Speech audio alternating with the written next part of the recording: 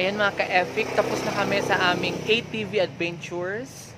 Um, kung gusto niyo umarkila ng kanilang ATV, ah ito yung ito yung Facebook page nila. Ah, located at saan ba to? Located at Sibul, San Miguel, Bulacan. Unang barrio lang ah, from DRT, ah, first barrio lang ng San Miguel. Kaya malapit lang, 15 to 20 minutes lang nasa DRT ka na. At ngayon, we are going to Talon Pari. Let's go mga ka-epic.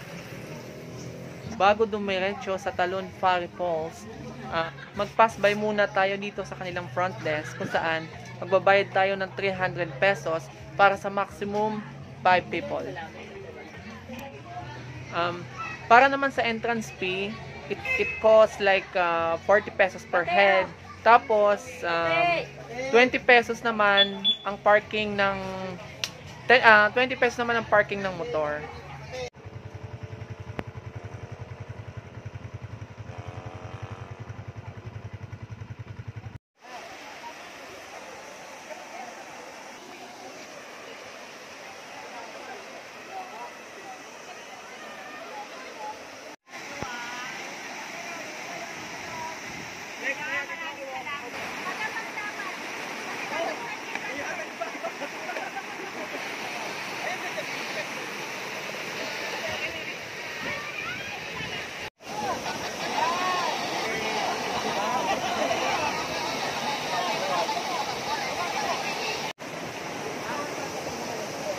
Ayun mga ka-epic, nasa aking likuran ang isa sa mga talon dito sa Talon Pari Falls.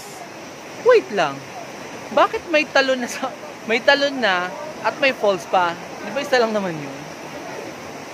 Mag mag-interview tayo ng isang tourist na isang tour guide kung bakit ganun ba yung pangalan.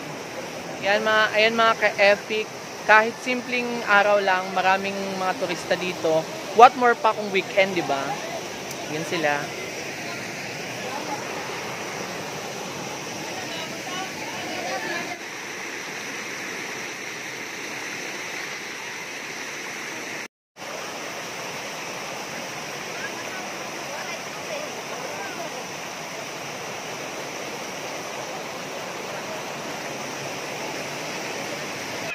Kuya, matanong ko lang.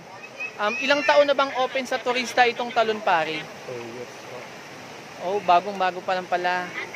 Salamat, kuya. Ayan, dahil hindi na dahil hindi ako nakapaligo, nakipagharot na ako sa mga bata.